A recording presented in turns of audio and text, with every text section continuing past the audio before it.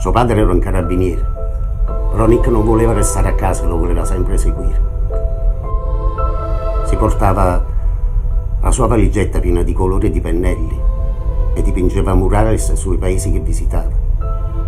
Loro sparavano e lui dipingeva. Ci vuole coraggio a essere ragazzini così.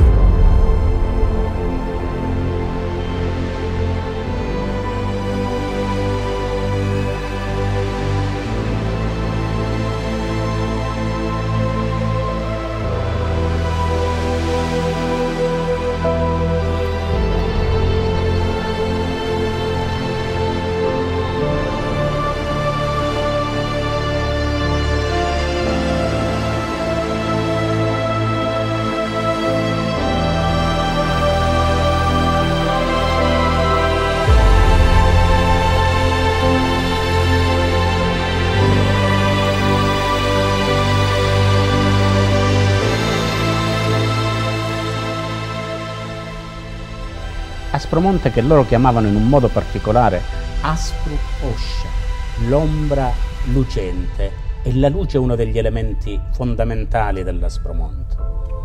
Notare anche l'uso sapiente dei colori, che creano una tridimensionalità nell'opera che quasi esce dal quadro. E tutte le persone che vengono qui la prima volta hanno questa sensazione spirituale, è una sensazione molto difficilmente replicabile, che si avverte direttamente tutte le volte che si viene a Musava.